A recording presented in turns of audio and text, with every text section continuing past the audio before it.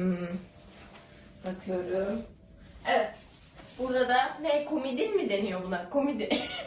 komidin var. Çok bilmiyorum böyle ev aletlerini, eşyalarını falan da. Burada mezuniyetim için çekindiğim fotoğraflar var. Ben zaten birkaçını da Instagram'a atmıştım. Şimdi de öbürlerini görelim o zaman. Çok güzel olmuştu. Bu ikisini atmıştım galiba. Instagram'ı bunu görmüştünüz. Annemin favorisi bu. Çok beğenmişti. Bu arkadaki ışıklar da gözümün rengi de çok güzel çıktığı için annem çok beğenmişti. Burada da kepli bir fotoğrafım. Bunu görmemiştiniz. Belki mezun olduktan sonra e, bir iki tane fotoğraf atabilirim. Bakayım. Bundan sonrası evet. E, burada da bir kepli fotoğrafım var.